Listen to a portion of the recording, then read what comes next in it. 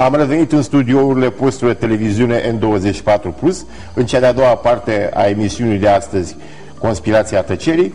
Invitat este de fapt o invitată, doamna profesor dr. Clina Bocșan. Să rămână, bine ați venit. Vă mulțumesc că ați acceptat uh, să participați la această emisiune, mai ales că tema este extraordinară, lumea spirituală a Iuliei Hajdău.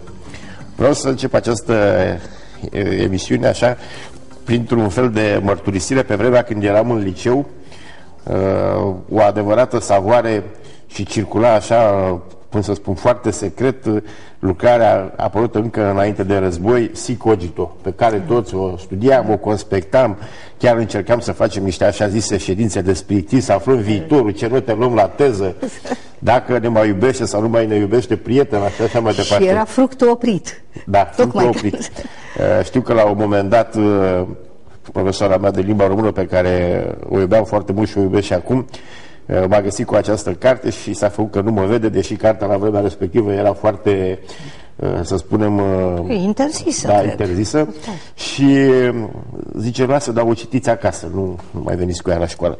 Iată, am aici o fotografie a Iuliei Hajdău. Pe parcursul acestei emisiuni vom prezenta uh, mai multe uh, cărți cu și despre uh, Iulia Hajdău. Doamna profesoară, ați avut și aveți o activitate laborioasă în domeniul cercetării. Uh, dar ce v-a făcut și ce v-a atras atât de mult pentru Iulia Hajdău? Dumneavoastră sunteți în subsidiar așa și președinta Asociației UNESCO Iulia Hajdău. Da, știți, toate s-au derulat de la sine. Adică să vă spun că am făcut liceul la liceul Iulia Hajdău, care bineînțeles pe vremea aceea nu avea numele Iulia Hajdău și deja spuneam înainte de fructul interzis, era tabu subiectul. Deci ne întâlneam cu persoane în vârstă care spuneau, a, ești la liceu 5-7, adică la Iulia Hajdău. Ei, tocmai faptul că nu știam nimic despre Iulia Hajdău, parcă a fost o invitație că atunci când întâmplarea a făcut să fiu la arhivele statului și să se deschidă cufărul acela cu manuscrise uh, conform testamentului lui Bogdan Petricei cu Hajdău și am văzut caietele Iuliei Hajdău, ă, atunci parcă s-a produs așa un declic. Într-adevăr, Iulia Hajdău, care era pentru toți numai un nume, spun generația mea așa, devenise ceva material. Deci, existase într-adevăr, deci caietele ei uh, erau ca o fotografie a copilului genial. Atunci m-am convins că ceea ce consideram eu o dulcegărie, să mă ierte uh, în sfârșit și ascultătorii și față de Iulia, e o impietate, dar așa mi s-a părut, pentru că citisem scânteitoarea viața Iuliei Hașdău și acolo se vorbea tot timpul de Lilica, de fetița frumoasă, deșteaptă, și mi se părea cumva imposibil, adică, într-adevăr, se cunoștea că e o carte scrisă de un apropiat al familiei. M-am străduit totdeauna când am cercetat și am publicat câte ceva despre Iulia să păstrez o relativă obiectivitate, cât am putut. Deci, practic, eu am încercat să conving lumea că Iulia a fost un geniu, fiind eu convinsă întâi de asta. Ehm, și apoi Cred că am simțit ca o datorie în momentul în care aceste caiete au fost în mâna mea și m-am convins că poeziile erau scrise numai de ea, fără nicio intervenție a tatălui, parcă acest adevăr trebuia să fie spus. Și am avut șansa să pot să-l spun. Pentru că evenimentele s-au petrecut cu mult înainte de 89 și prima oară când uh, m-am dus numai cu o propunere la o editură studentă fiind, să se republice opera Iuliei Hașdău, personalități marcante ale epocii au spus Iulia Hașdău niciodată, cea care s-a ocupat de spiritism.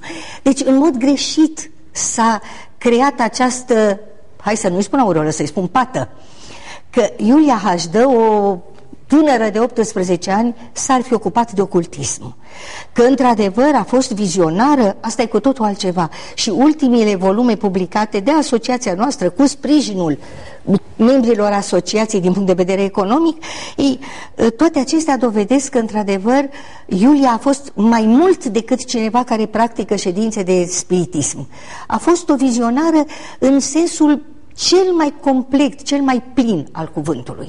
Doamna profesor, haideți să rupem pisica. Deci eu am participat la multe ședințe ale fundația Ne-ați onorat cu prezența dumneavoastră. Era da. suficient să spunem că vine domnul general străinu și sala se umplea de lume care da. și nu vă ierta, vă punea la întrebări. Urmă, da, până la urmă, face sau nu face spiritism acolo? Că dacă spune nu mă crede lumea.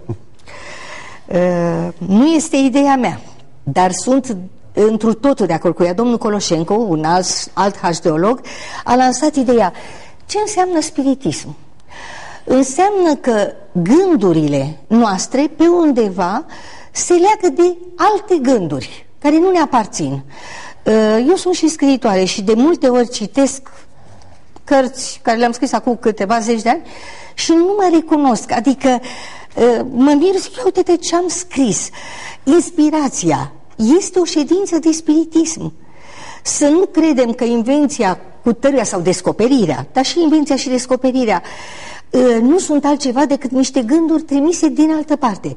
Și pentru că mă întrebați de ședințele de spiritism de la asociație, eu cred că în momentul în care suntem acolo mai multe persoane și suntem, chiar dacă nu suntem cu gândul la Iulia, dar avem aceeași concepție despre viață, simțim aceeași datorie de a începe întâlnirile noastre cu un citat la întâmplare din Iulia, înseamnă că într-adevăr s-a creat o comuniune. Mai spun un lucru, uh, am citit mult despre spiritism și pe Scarla Demetrescu și pe Bogdan Petricei cu H. și mă interesează, emisiunile dumneavoastră mă interesează, mă interesează tot ce se referă la această legătură. Am făcut și cursurile de, de tot felul care puteau să explice cumva puterea gândului asupra noastră. Uh, eu consider că pe undeva dorința de a mă apropia de Iulia, dorința multora de a se apropia de Iulia, este cumva o chemare din partea ei. Și când am mai fost întrebată, se practică spiritismul, dumneavoastră faceți spiritism, nu pot decât să spun așa, ă, nu e bine să invoci spiritele. Spiritele, dacă vor, dacă te aleg, vin ele către tine. M-ați întrebat de când ă, și de ce m-am ocupat de Iulia Hașdău am simțit acest impuls. Nu știam limba franceză și sunt fericită că am învățat-o pe manuscrisele ei. Mi se întâmpla să plec seara de la arhive, acolo este tezaurul acesta și și la noi în asociație avem manuscrise ale Iulii, să mă pomenesc că vorbesc cu mine franțuzește. Era normal, după 4-5 ore, stând pe texte franțuzești. Dar simțeam o satisfacție deosebită și sunt convinsă că uh, manifestări din astea încearcă foarte multă lume. Mă deranjează când aud că spun diversi, oh, am chemat-o pe Iulia, a venit Iulia, ne-a spus Iulia. Uh, e periculos. Pentru că nu totdeauna din înălțimea la care este, Iulia ajunge la noi. Uh, nu acuz, dar mi se pare firesc să-și aleagă interlocutorii drama lui Bogdan Petricei cu Hajdău de la asta a pornit. Deci, în primul rând, la baza spiritismului stă o dragoste nemărginită, necondiționată. Ori această dragoste a fost între Iulia Hajdău și tatăl ei. Aveți aici epistolarul uh, Iulia Hajdău. Sunt scrisorile pe care le-a adresat Iulia, tatălui ei, uh, Acuzată puțin de snobism în sensul că majoritatea sunt în franceză, trebuie să iau apărarea și să spun că a preferat să corespondeze în franceză pentru ca să-și să perfecționeze astfel stilul. Ei, este o iubire extraordinară. Cum vă explicați dumneavoastră că Iulia, de la 11 ani plecată la studii la Paris, însoțită de mama ei, totuși a avut mult mai multe legături spirituale cu tatăl ei, aveau același limbaj superior. Ei discutau în scrisori despre revistele pe care le publica H2. Vorbeau despre oamenii de știință și care este contribuția lor. Și la un moment dat arătați o copertă, Iulia H2 de stăinuiri. Vreau să vă spun că eu consider că este o copertă inspirată. Este Iulia H2 văzută în oglindă ea cum se destăinuie altora și cum se autoanalizează, fiindcă acest volum, publicat primul după 90, în editura asociației noastre cuprindea uh, poeziile care au fost cenzurate. Deci știți că înainte, în momentul în care apărea Dumnezeu, Înger, Maica Domnului, uh, din start a trebuit să fac rabat. Deci ce a apărut înainte de 69 a apărut de 89 a apărut fără aceste poezii, fără aceste destăinuiri ale Iuliei. Pentru că spunea părintele Galeriu că Iulia a fost o oază de ortodoxism în catolicism, pentru că de la 11 la 18 ani, ea studiind în Franța, normal, um, acolo se mergea cu rândul la biserică, era prima comuniune, dar ea a fost profund uh, înrădăcinată în pământul nostru. Ea a mâncat uh, spiritual și material de aici hrana. De aici așa a luat-o. Și așa se explică că spuneam că e vizionară, că peste un secol și jumătate aproape, iată că se împlinesc peste câteva zile 141 de ani de la nașterea Iuliei Hașdău. Peste atâta timp, ea rezistă. Nu există satisfacție mai mare a mea și deci simt pe undeva ca și a Iulii să ajungă la tineretul de astăzi. Bogdan Petricei cu Hașdău nu a apucat să publice toate operele Iuliei, pentru că întâi le publicase cele care i-au adus faima de copil genial, de tânăr